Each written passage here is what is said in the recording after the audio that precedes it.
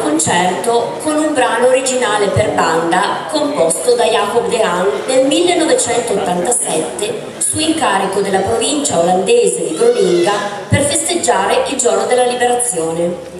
De Haan scrisse questa fantasia sognando un mondo senza guerre, appunto un mondo libero.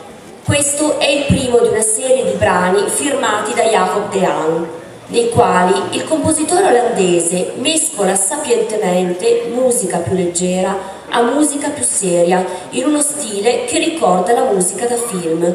Buon ascolto con Free War Fantasy.